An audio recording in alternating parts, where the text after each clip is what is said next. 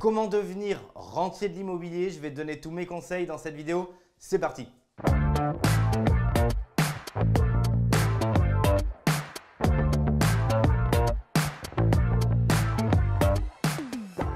Salut les entrepreneurs d'immobilier, bienvenue dans cette nouvelle vidéo où on va parler de comment devenir rentier d'immobilier et je voudrais vraiment focus cette vidéo sur la routine des rentiers. Je t'en dis plus tout de suite dans cette vidéo. Avant, je t'invite à cliquer sur le bouton rouge s'abonner, la petite cloche notification, comme ça, ça va te permettre de recevoir en temps réel l'intégralité de mes conseils. Si tu tombes sur cette vidéo, je voudrais d'abord me présenter. Je m'appelle Mickaël Zonta, je suis le cofondateur de la société investissementlocatif.com tu vois ici et on réalise avec mon associé plus de 500 opérations immobilières rentables par an pour le compte de clients. On ne le fait pas tout seul puisqu'on est accompagné d'une équipe, c'est plus de 100 personnes qui se démènent au quotidien pour tes projets. Aujourd'hui, je voudrais te donner un maximum de valeur au travers de cette chaîne YouTube et je voudrais qu'on parle de comment devenir rentier en immobilier. Et je voudrais vraiment qu'on focus aujourd'hui sur la routine du rentier immobilier. Moi, j'adore ce mot routine parce qu'il a une connotation péjorative alors que dans la majorité des cas, s'il est bien employé et bien utilisé au quotidien, c'est quelque chose de très positif. Je t'invite d'ailleurs, il y a un livre qui s'appelle Miracle Morning qui décrit la puissance de mettre en place comme ça un cycle régulier, quotidien et une routine. Et c'est la routine pas dans le sens, bien entendu, tu l'auras compris, de métro, boulot, dodo, mais dans le sens d'une routine qui va pouvoir te faire progresser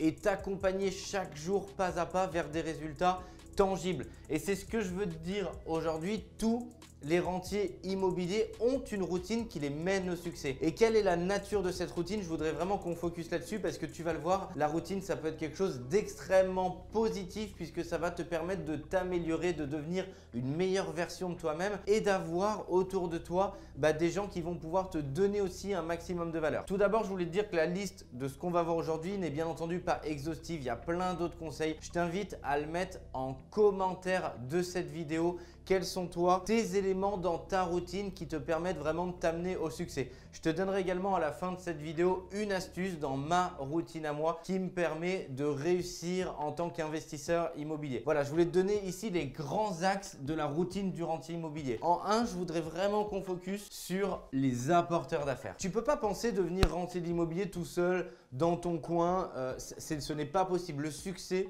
c'est toujours une histoire d'équipe. C'est le cas chez Investissement Locatif et je remercie mon équipe. Le succès, c'est du collectif, que ce soit dans le sport, dans le business, dans la vie perso, avec ta famille, c'est comme si tu étais une équipe. Ici, c'est la même chose. Si tu veux qu'on t'apporte des bonnes affaires, oui, tu peux en trouver par toi-même, on démarre tous de zéro. Mais si tu veux vraiment augmenter les chances, augmenter le flux d'apport, tu dois travailler avec des apporteurs d'affaires et tu dois être en lien avec eux. Et la période où je tourne cette vidéo, on est en confinement euh, à cause du coronavirus et je pense que c'est très bien que je te le dise pour cet axe d'apporteur d'affaires parce que c'est ce que font tous nos chasseurs immobiliers, c'est ce que je fais également. Je profite du temps plutôt que me dire je vais rester sur Netflix. Je te rassure, je regarde aussi Netflix, mais je vais me prendre bah, une part de mon temps dans la journée où je vais travailler ce réseau d'apporteurs d'affaires et je vais en profiter d'autant plus qu'on soit en confinement pour le faire. Et du coup, ici, il faut que tu aies un lien avec eux. Donc ici, par exemple, je vais prendre des nouvelles. Ça te paraît bête, hein Je vais juste les appeler, par exemple, mais ce qui est en plus euh, euh,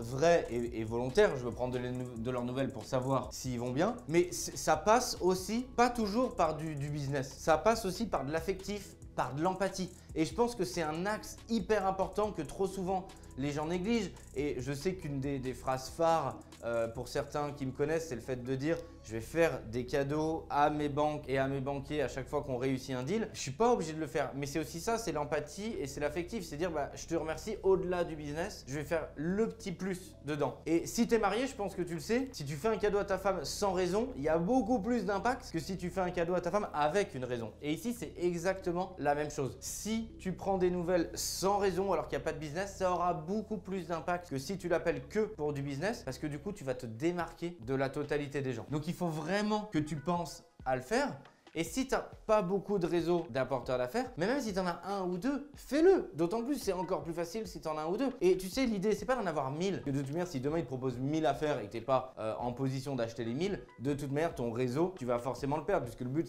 c'est d'être crédible. Quand on t'apporte une bonne affaire, si tu as 10 bonnes affaires à l'instant T, ce sera un bon problème et que tu peux pas acheter les 10, les gens vont plus t'appeler. Donc, à l'échelle d'une société comme investissement locatif, oui, on a tout intérêt à avoir des centaines d'apporteurs d'affaires en France. Mais à l'échelle individuelle, moi compris, il suffit d'avoir 1, 2, 3, 4, 5, allez 10, mais max, max, c'est largement suffisant, il n'y en a pas besoin de 1000. Trop souvent, tu vas te focuser sur la quantité plutôt que la qualité. Tu as 3, 4 bons apporteurs d'affaires à l'échelle d'un, ça suffit largement. Si tu apportais chacun une bonne affaire par an, ça te suffirait largement et ça externaliserait complètement ton travail de recherche. Donc c'est génial. Donc là ici, prendre leurs nouvelles sans qu'il y ait de raison et sans forcément que tu penses à du business derrière, puisqu'en cette période de confinement, à l'heure où je tourne cette vidéo, de toute manière, il n'y a pas de business à faire. Donc autant mieux euh, mettre ce temps à profit là-dessus. Ici, les apporteurs d'affaires, je t'ai focus que sur la partie euh, agent immobilier, euh, marchand de biens, avocat, notaire, toute personne proche, euh, de près ou de loin de ce marché immo qui est susceptible de t'amener une bonne affaire. Mais ici, tu peux faire la même chose sur tes artisans. Tu sais, les artisans, il y en a beaucoup qui leur disent ouais, on n'est pas à l'heure, on est en retard, on est machin, mais il n'y a pas souvent des gens qui leur font des compliments. Ils ont de l'or dans les mains, les artisans. Et avant le confinement, je discutais avec le carleur qui est, chez moi, qui est en train de faire euh, ma résidence principale. Je peux te dire, c'est un mec exceptionnel. Il a de l'or dans les mains.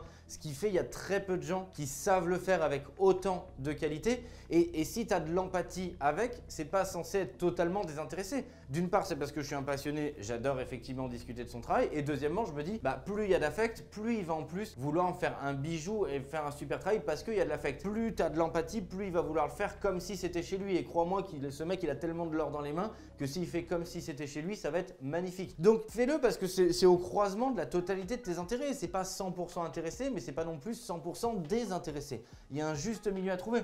Donc prendre leurs nouvelles, ça va leur faire plaisir. Les gens, ils sont plus là souvent à dire euh, t'es en retard, euh, oh les finitions, etc. C'est comme dans la vie, il faut savoir dire ce qui est négatif, mais il faut savoir aussi dire quand c'est positif. Si tu dis que quand c'est négatif, au bout d'un moment, les gens, tu vas les saouler. Ils ont plus envie de travailler avec toi parce qu'ils se disent, bah, ce que j'ai fait de bien, ils le disent jamais. Donc, faut toujours, tu démarres par ce qui est bien et t'amènes ce qui est un peu moins bien pour euh, emmener les gens vers la progression. Prends aussi des nouvelles de tes artisans, de ton notaire, de ton courtier, de ton banquier. On va en parler un petit peu après. Une des routines des investisseurs, c'est d'être dans un réseau d'investisseurs. Pourquoi? Bah, Parce que tu t'entraides, parce que quand tu as une problématique, tu crois que tu es le seul à avoir cette problématique, il y a forcément quelqu'un qui a déjà connu ce problème et qui a la solution. Donc c'est très important à la fois d'être dans des conférences, d'être dans des groupes d'investisseurs et c'est important, je te le mets ici aussi, pour le mindset parce que bah, si tu parles jamais d'immobilier, ça va te manquer si toi tu es un passionné. Donc c'est comme si tu es un passionné de tel sport, tu vas plutôt essayer d'avoir des amis, en tout cas une partie de tes amis qui aiment ce sport-là pour partager ta passion. Ici, c'est la même chose.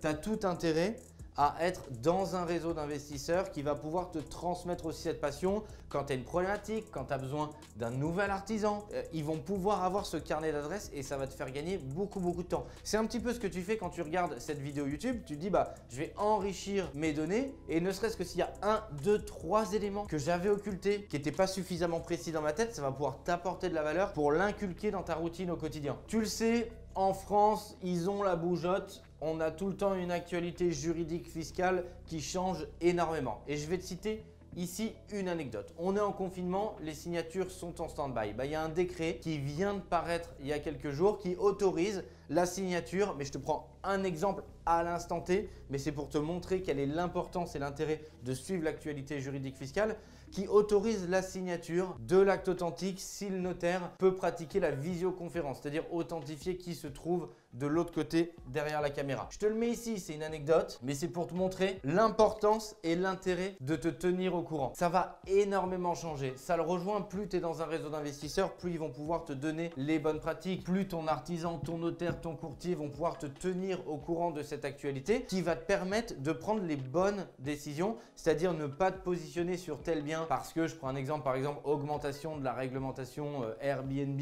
Donc tu dis, bah non, je vais pas rentrer dans ce marché-là maintenant à l'instant T, je vais plutôt faire une coloc. Et inversement, ça change beaucoup, ça change tout le temps. C'est un des reproches qu'on peut faire à la France, mais c'est aussi la réalité d'un monde économique qui change beaucoup. On ne peut pas rester statique comme ça pendant 15 ans, alors que le monde change rapidement et tout le temps. Donc d'où l'intérêt d'être vraiment à l'intérieur de cette actualité. Tu dois continuer à visiter des biens. Et pourquoi je te mets rentable entre guillemets? Parce que la rentabilité, ça se crée. N'attends pas qu'on te livre euh, un bien, tu arrives et tu te dis, bah voilà, je visite un bien, oh, ça fait pas 8% euh, de renta, du coup j'y vais pas. Ça se crée, on se trouve une rentabilité. Faut pas que tu penses que tout va tomber. Faire de la renta, ça demande du travail chez investissementlocatif.com. Pourquoi tu penses qu'on restructure, qu'on a une équipe d'archi, qu'on refait tous les plans, qu'on meuble, qu'on décore? Sinon, je dis souvent, je ne t'embêterai pas en tant que client à faire des travaux, à faire de la déco. Et je m'embêterai pas, même si j'adore mon équipe, mais avoir, avoir staffé un département architecture. On le fait parce que c'est ce qui permet de trouver, de créer une rentabilité. Donc ici, ce qui est important, c'est que tu restes au contact du marché